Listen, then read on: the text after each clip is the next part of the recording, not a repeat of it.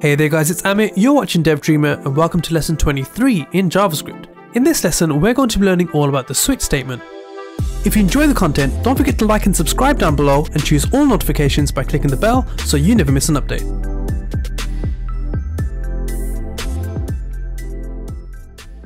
Okay, so welcome back to lesson 23. So in the previous lesson, we learned all about conditional statements by looking at if statements and the different variants of if statements such as else and else if. And we also learned that with else if statements, we can test several conditions before coming to a conclusion. Now whilst this works fine for maybe three or four checks, any more than this and things start to look complicated and confused. And so JavaScript provides another way that we can test multiple conditions, and that is by using the switch statement.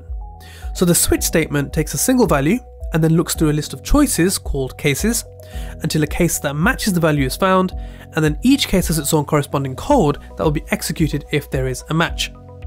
Now, an important thing to note here is that by default, the comparison that we're looking at is equality, but we can also check for different comparisons, which we'll be learning about later on in this lesson. Okay, so that's enough theory, let's dive in and see how this all works. So first, let's go ahead and create a variable called roll, and let's assign this to a value of 4. And then to create the switch statement, we simply say the word switch, okay? Then parentheses, space, and curly braces. So visually, it looks pretty much identical to an if statement, but with the word switch instead of if. In the parentheses, it's going to be our first value or key. So here I'm going to say roll, and of course roll is equal to the value of 4. And then inside the actual switch statement in the curly braces, as mentioned, switch statements are made up of different cases. So we're going to say case, and then space, and now we're going to say what the first case is going to be. So this first case is going to be the number one. Then we say colon, and on a new line, the code that we want to run. So here I'm just going to say console.log, and I'm going to say you rolled a one. So let's understand what's going on here. So we created a switch statement by saying the word switch, then we did parentheses, curly braces. Inside the parentheses, we put our key, which was roll. Roll is equal to the number 4 at the moment, and then inside the curly braces, we say case, and then the value for the first case, which is going to be the number 1. So in other words, the first case is going to check to see if roll is equal to the value of number 1. If it is true, it's going to log the following code. So at this point, if we just save this, you can see that the console returns nothing because it's not true. Roll is not equal to 1. If we said 4, let's save this, Now our console does return the console log. Obviously the text is actually wrong. Let's go ahead and set this back to 1. And now let's go ahead and put in another case. For the second case, we're going to say case 2, and then once again, we're going to log this to the console, but instead of you rolled a 1, it's going to be you rolled a 2. Let's now add in four more cases. Okay, so here then we have six cases in total, and each case has a value. The value is 1 to 6. So our switch statement is going to go through these cases and it's going to check to see if there's a match with our key, which is roll, which up here, as we can see, has a value of 4. So obviously the one that matches it is going to be case number 4, so we should get you rolled a 4 logged to the console. Now before I press save, what we get returned in the console might not be what you expect, so let's go ahead and save. Okay, so we get you rolled a 4, which was correct, right, because case 4 matches, but we also got you rolled a 5 and you rolled a 6. So for some strange reason, these two are also logging as well. So what's going on here? Well, the reason why this is happening is because once a match is found, right here, the code is run. But then JavaScript continues to run the rest. So that's why we see you rolled a 5 and you rolled a 6. So how do we fix this? Well, each case needs to end with a break. So that whenever we do find a match, once this code is executed, we break out of the switch statement and we don't execute any more code inside.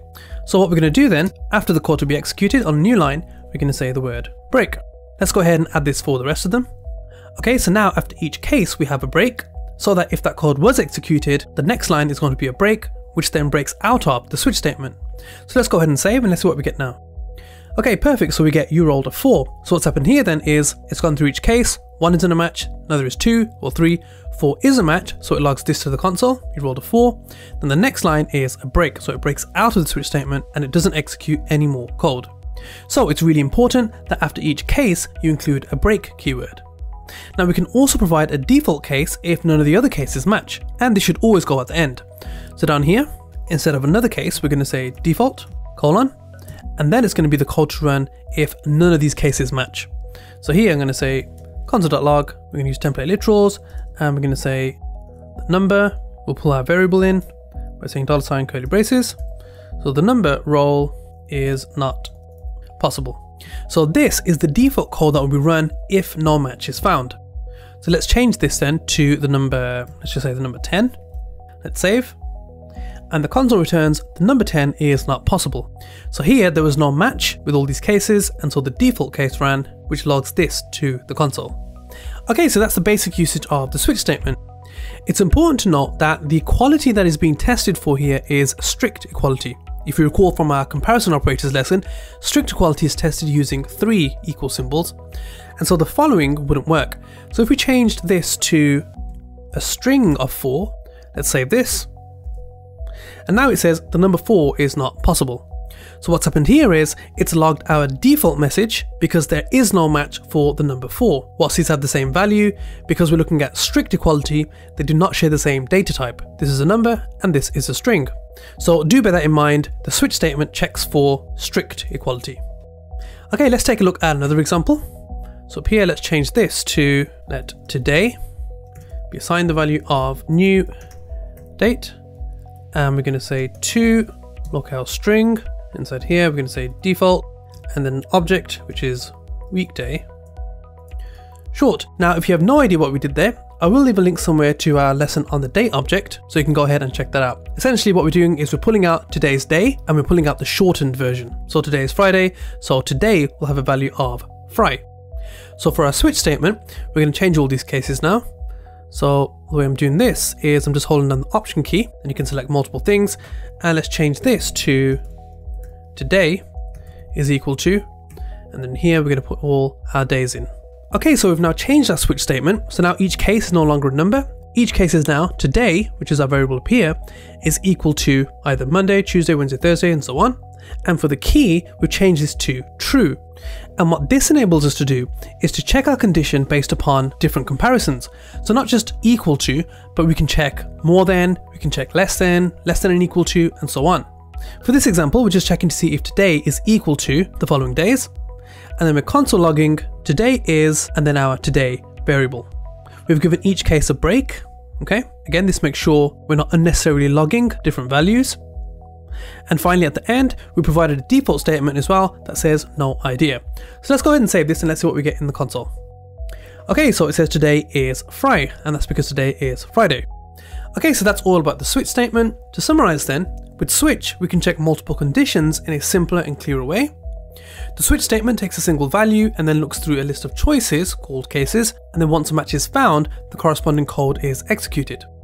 By default, switch statements look for strict equality. Remember to use breaks after every case to ensure that we break out of the switch statement once our code has been executed. We can also provide an optional default case at the end to execute some code if none of the above cases match, and finally, we can also test more complex conditions by changing the expression to true, like we've done over here. So let's take a look at your tasks for this lesson. So just a single task for this lesson then. Create a variable called favofood and set this equal to your favofood. Then create a switch statement with four foods as cases, and then another one that matches the favofood. So we're looking for five cases in total. And then for each case, log, that's right, favofood is my favorite. Think about how to pull the favofood variable in and then finally add a default case that says food not found, dot dot dot, I'm hungry. So go ahead and pause the video, try this out, and when we come back, we'll take a look at the answer. Okay, so how'd you get on then? Let's see. So first of all, I'm going to go ahead and create a const call fave food, and we're going to assign this to, of course, pizza. Then let's go ahead and create our switch statement. And the key, of course, is going to be fave food and then we need four foods as cases and then another one that matches the favofood. So here, let's say for the first one, we'll go for pasta. And we need to log, just copy this. Okay, we need to make sure that this is a template literal. And the reason for that is because we want to pull in this variable here. And if you recall, the way that we do that is we say dollar sign, curly braces, and then the name of our variable, which is fave food. Okay, so let's create four more of these. We also need a default case as well that says food not found, I'm hungry. So let's go ahead and just copy this. And here we're going to say console.log. We need this to be a template literal as well. And let's just copy this food variable from here and paste this in. Okay, so I think we're done.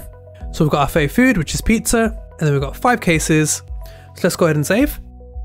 Brilliant, so we get a match that says, that's right, pizza is my favorite. Okay, so we're really starting to understand JavaScript's conditional statements. In the previous lesson, we learned all about if statements and the different variants, such as if else and else if. In this lesson, we've covered switch statements. For the next lesson, we're going to be learning about the final conditional statement, which is the ternary operator. The ternary operator enables us to write an if else statement, which as you recall was the most common statement you'll be using, in a much quicker and much cleaner way. So guys, be sure to tune in. Don't forget to comment, share, like and subscribe down below. Get practicing and I'll see you on the next one.